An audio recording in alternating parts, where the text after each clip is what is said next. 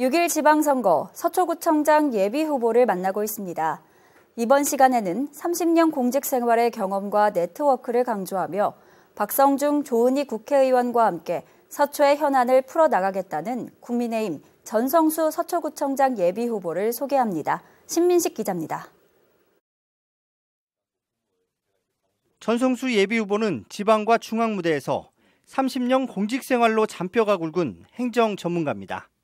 서울시를 시작으로 청와대, 행안부, 외교부, 인천시 행정부시장까지 핵심 현장에서 경험과 인적 네트워크를 쌓았습니다.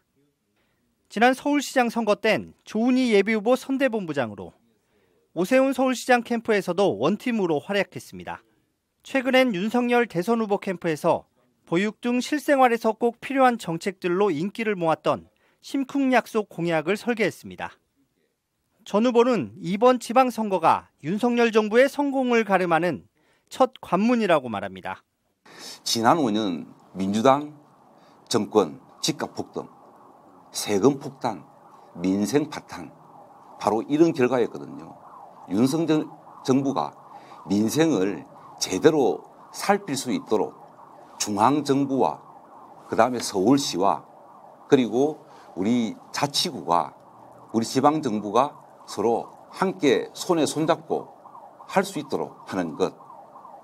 그게 제가 이번 어, 지방선거에 우리 서초구청장으로 나서게 된 어, 저한테는 어, 하나의 큰 시대적 저한테 소명이라고 감히 말씀드리겠습니다. 서초의 변화를 위한 경부고속도로 지하화, 코로나19로 지친 주민 100일 일상회복 프로젝트, 아이를 낳고 키우는 것이 편안한 도시를 만들겠다고 공약했습니다.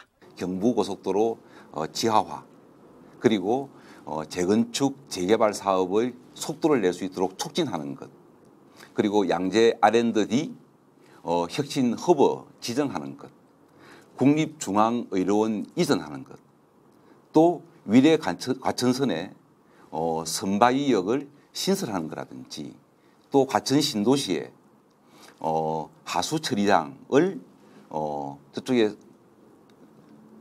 지금 우리 주민 가까운 것이 아니라 원래 예정됐던 곳으로 어, 돌리는 사안들.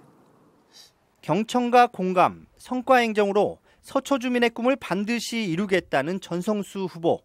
언제나 주민 편에서 힘이 되는 구청장이 되겠다는 각오로 오늘도 주민 곁으로 다가가고 있습니다. HCN 뉴스 신민식입니다.